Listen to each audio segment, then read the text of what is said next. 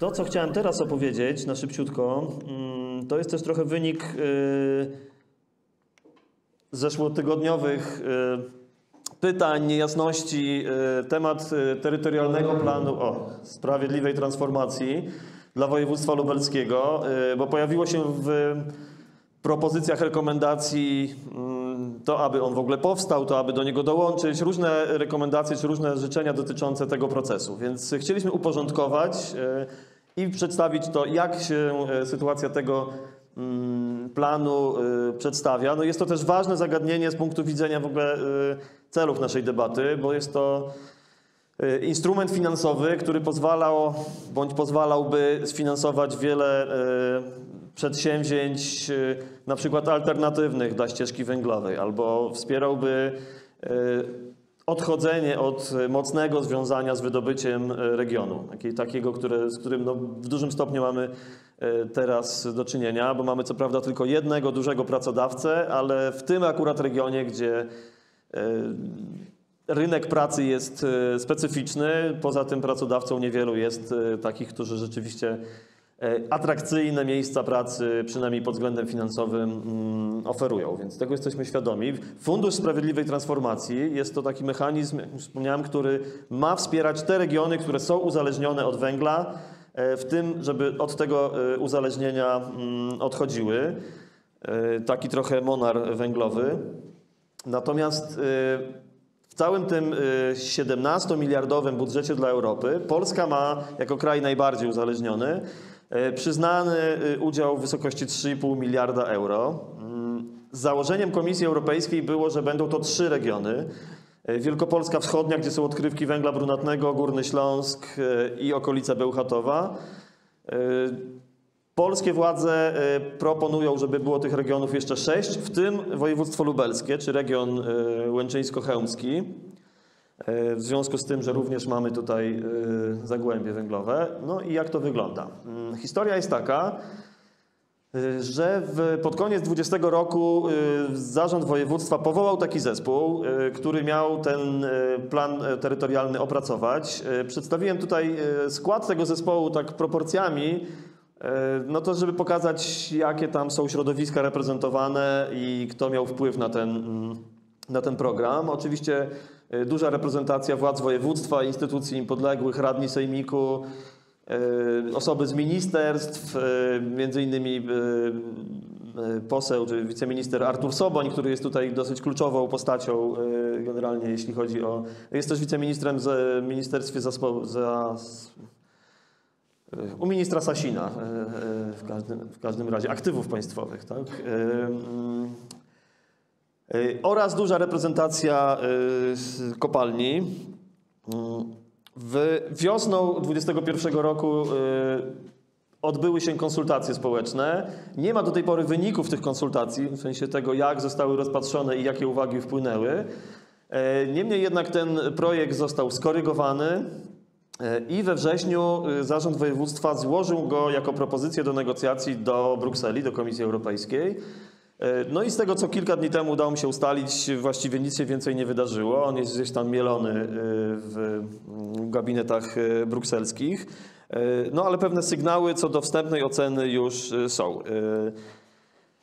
No i w lipcu, jeszcze przed tym złożeniem, po konsultacjach, to jest wypowiedź, którą mi właśnie wiceministra Sobonia którą skróciłem. Ona jest u Państwa w, w, materiałach, jest e, dłuższy, jest też link do tego, e, tego artykułu, gdzie jest ta pełna wypowiedź. W każdym razie promotor, który kilka miesięcy wcześniej mówił, ściągnąłem Wam tutaj miliardy złotych na Lubelszczyznę, między innymi na program Sprawiedliwej Transformacji, i że prawdopodobnie nasze szanse są niewielkie na to, że te pieniądze uzyskamy, ze względu na strategię kopalni Bogdanka. Rzeczywiście E, strategia kopalni Bogdanka została e, tutaj zrzut ekranu z tego, e, z tego artykułu.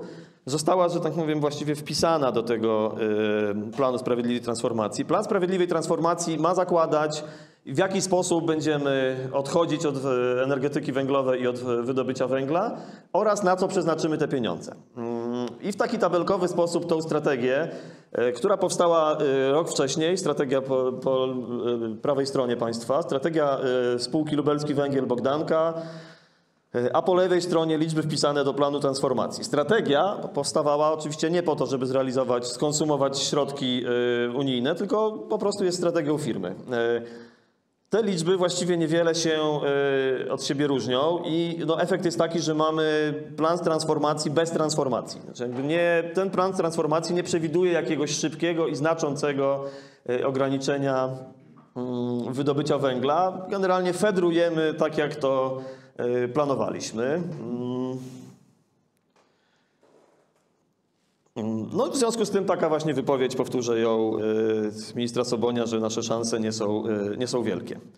Na co przewidziano y, środki? Duża część miała trafić do spółki Lubelski Węg- Węgiel Bogdanka na przebranżowienie się, na nowe pomysły biznesowe, na odnawialne źródła energii, na Centrum Rozwoju Niskoemisyjnych i Odnawialnych Technologii Energetycznych. E, oraz na sprzątanie, e, czyli na rekultywację terenów e, poprzemysłowych. Oprócz tego do przedsiębiorstw, również tych, które nie są, nie są Bogdanką, ale są pod, podwykonawcami, miały trafić pieniądze na to, żeby one się przebranżowiły, żeby ludzie, którzy tam pracują, również górnicy, znaleźli inne zatrudnienie na odnawialne źródła energii, na kooperatywy y, spożywcze i rolnicze, no generalnie takie alternatywne y, ścieżki rozwojowe, E, termomodernizację również mieszkań, e, również troszeczkę, chociaż tak trochę półgębkiem na rozwój e, infrastruktury e, turystycznej e, oraz na działania e, środowiskowe mm, związane z przywracaniem stosunków wodnych, e, renaturyzacją torfowisk osuszonych w wyniku wydobycia na tych e, dotychczas eksploatowanych e, polach górniczych i tak.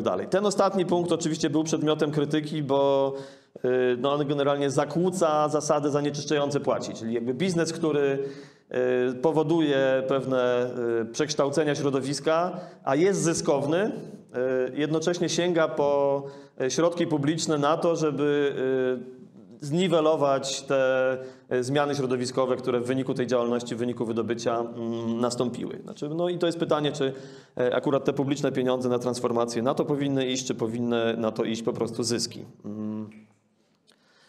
E, Tak to wygląda.